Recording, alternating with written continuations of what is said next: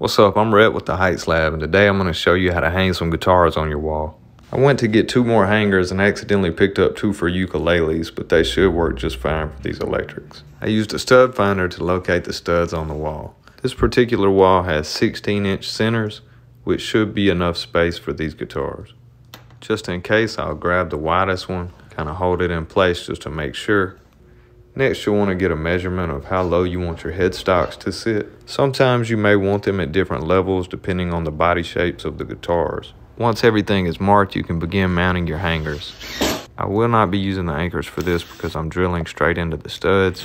But if you're putting these into drywall, you want to make sure that you're doing something for the weight.